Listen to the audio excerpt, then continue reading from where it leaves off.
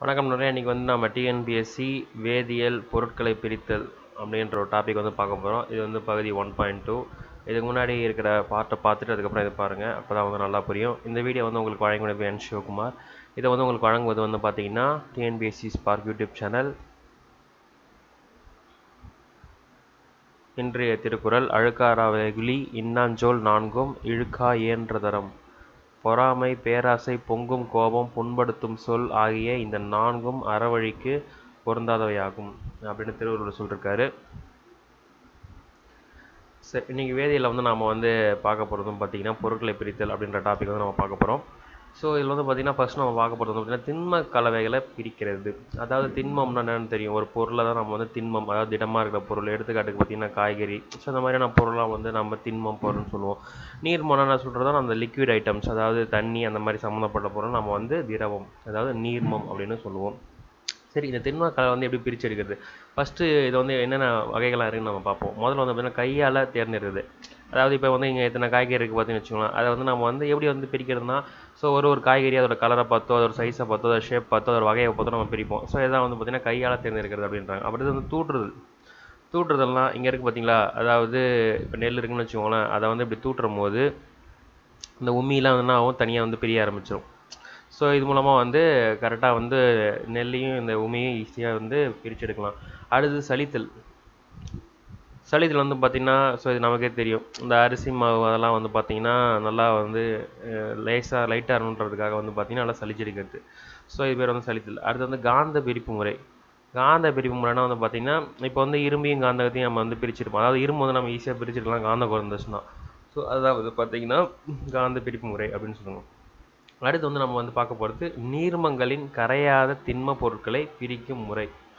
அது எப்படி அந்த நீர்மங்களில் கரையாத திண்மப் பொருள் வந்து பிரிச்சிருக்கிறது அப்படின்றத வந்து பார்க்க போகிறோம் இது வந்து ஃபஸ்ட்டு பாருங்கள் நீரில் கரையாத திண்மங்களையும் ஒன்றை விட மற்றொன்று கனப்பகுதி பொருட்களை கொண்ட கலவையாகவும் தெளிய வைத்து தெளிய வைத்து இருத்தல் அல்லது வடிகட்டுதல் முறையில் பிரிக்கலாம்.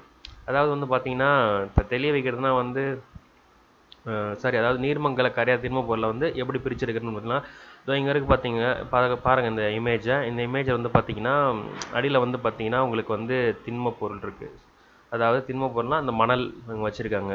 ஸோ மணல்லேருந்து நீர் எப்படி வந்து இப்படி பிரித்து எடுக்கிறது அதுக்கு என்ன பண்ணணும்? அதுக்கு வந்து நம்ம வந்து எதுவுமே வந்து பண்ணாமல் அசையாமல் அப்படியே வச்சுருந்தோன்னா போதும். ஆட்டோமேட்டிக்காக வந்து பார்த்தீங்கன்னா மேலே வந்து நீர் வந்துடும் கீழே வந்து பார்த்தீங்கன்னா மணல் வந்துடும் அதாவது நீர்வ பொருள் மேலேயும் மணல் வந்து கீழே வந்துடும் இதை தான் வந்து பார்த்திங்கன்னா தெளிய வைத்தல் அப்படின்னு சொல்கிறாங்க அதாவது மேலே இருக்குது பார்த்தீங்களா? இந்த நீர் தான் வந்து தெளிய வைத்தல் அப்படின்னு சொல்கிறாங்க புரியுதா?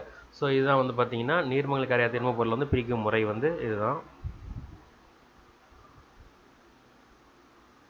அடுத்து வந்து பார்த்திங்கன்னா தெளிய வைத்து இருத்தல். அது எப்படி நம்ம தெளிய வச்சு இருக்க முடியும்?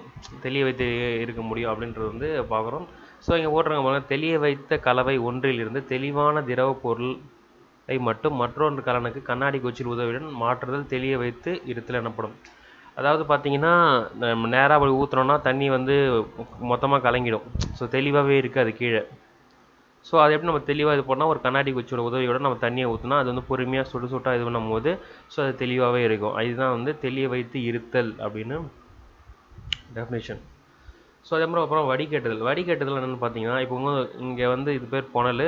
இங்கே நடுவில் வந்து ஒரு பேப்பர் ஆட்டம் இருக்குது பாருங்கள் இது வந்து பேப்பர் தான். அதாவது பேப்பரை வந்து நான் வந்து இப்படி இந்த மாதிரி ஒரு ஷேப்பில் வந்து நாம் வந்து சுற்றி வச்சுக்கணும் அதாவது ஒரு பேப்பரை வந்து அப்படி சுற்றிட்டு ஸோ அந்த பேப்பர் வந்து இந்த புனலுக்குள்ள வைக்கிறது மூலமாக இங்கே வந்து ரவோட சின்னோண்டு கேப் மட்டும் தான் இங்கே இருக்கும்.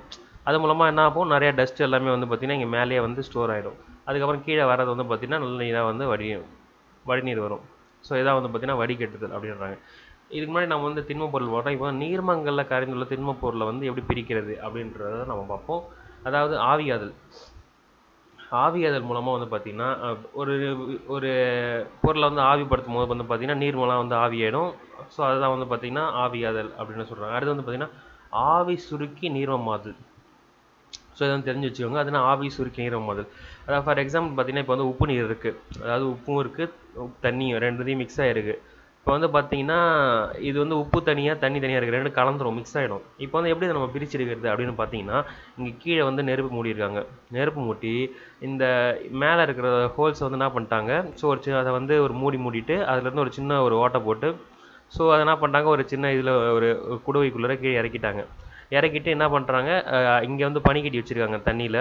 ஸோ இது வந்து கீழே அதாவது என்ன பண்ணும்? கீழே இங்கே வந்து சு- நெருப்பை நெருப்பை ஏற்றினோடனே சூடாகி என்ன பண்ணும்? இந்த நீர் வந்து ஆவியாக ஆரம்பிக்கும். ஆவியாகி இது வந்து கடைசியாக வந்து இங்கே பார்த்தீங்கன்னா குடுவைக்குள்ளே தண்ணியாக வந்துடும் ஸோ இதாக வந்து அந்த தண்ணியாக வந்துடும் ஸோ தண்ணியாக போக போக கூலி சீக்கிரம் எல்லாமே ஆவியானதுக்கப்புறம் கீழே வந்து உப்பு மட்டும் ஸ்டோர் ஆகிடும் புரியுதா?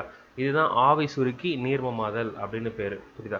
சரி இப்போ வந்து பார்த்தீங்கன்னா எதுக்காக வந்து நம்ம வந்து பிரித்து எடுக்கிறோம் ஒரு விஷயத்துல இன்னொரு விஷயத்தை அப்படின்னு பார்த்தீங்கன்னா தூய்மையாக இருக்கிறதுக்காக அதாவது ஒரு நல்ல ஒரு குவாலிட்டியாக இருக்கிறதுக்காக தான் வந்து நம்ம பிரித்து எடுக்கிறோம் இப்போ வந்து பார்த்தீங்கன்னா தண்ணி இருந்து நம்ம ஃபில்டர்லாம் போடுறோம் பார்த்தீங்களா அதெல்லாம் வந்து பார்த்தீங்கன்னா இந்த முறை இது இந்த அதுக்கெல்லாம் வந்து இந்த மாதிரி முறையை தான் வந்து யூஸ் பண்ணி ஃபில்டர் பண்ணுறாங்க புரியுதா?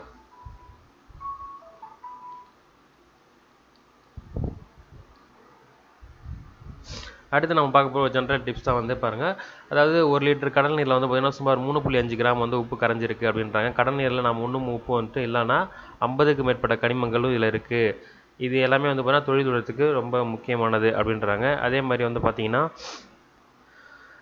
அடுத்து வந்து பார்த்தீங்கன்னா இங்கே பாருங்கள் நீர் சுழற்சி ஆவியாதல் மற்றும் ஆவியாதல் அதாவது நீர் சுழற்சியில் ஆவியாதல் அப்புறம் வந்து ஆவி சுருக்கி. நம்ம இதுக்கு முன்னாடி பார்த்தோம் பார்த்தீங்களா தான் ஆவி சுருக்கி ஈர்மமாதல்.